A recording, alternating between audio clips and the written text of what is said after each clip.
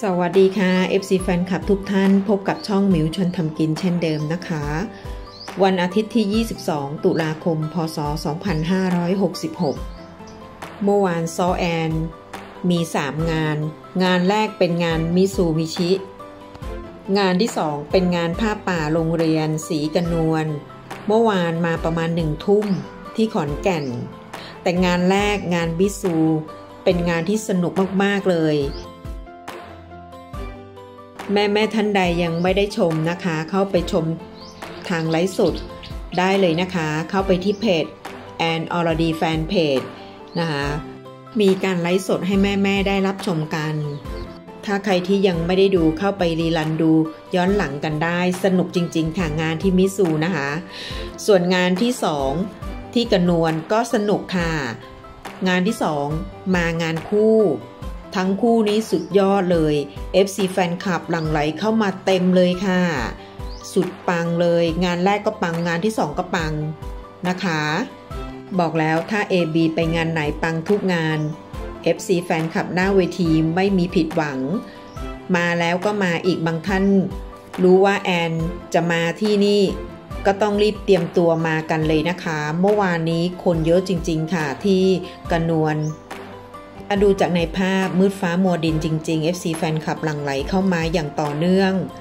ถ้าดูจากเวทีมองไปด้านหน้านี้สุดปังจริง ๆ คนเยอะแน่นสุดๆ หลังจากจบงานที่ 1 และงานที่ 2 ซอแอนก็ได้โพสต์ขอบคุณ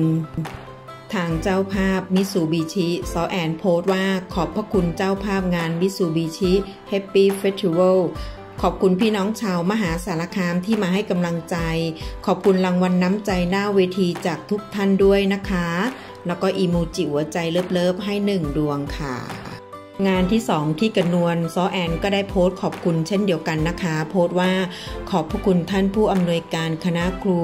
อาจารย์โรงเรียนศรีกระนวลวิทยาคม ที่ให้โอกาสแอนอรดี และพี่บอยสิริชัย ได้มามอบความสุข ให้ทุกท่านในงานภาพป่าการศึกษา ฉลองครบ 50 ปีโรงเรียนศรีกนวลวิทยาคม วันนี้สนุกและอบอุ่นมากๆค่ะ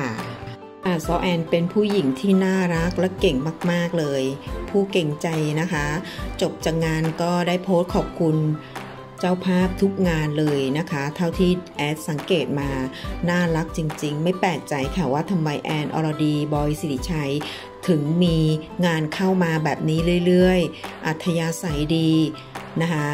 แม่ๆทุกท่าน FC ทุกท่าน ไม่ว่าจะเป็นทางเจ้าภาพ งานนั้นๆก็ยินดีที่จะมาจ้างซอแอนและบอสบอยนะคะ คือได้ความสุขได้ความบันเทิง นะคะแล้วก็ไม่เคยทำให้ทุกงานที่จ้างผิดหวัง ก็ขอให้ซอแอนและบอสบอยปังๆ แบบนี้ตลอดไปนะคะ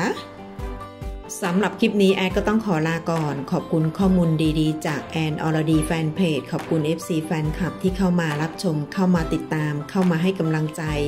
คนใหม่เข้ามาแล้วอย่าลืมกดติดตามไว้พบกันคลิปหน้าสวัสดีค่ะ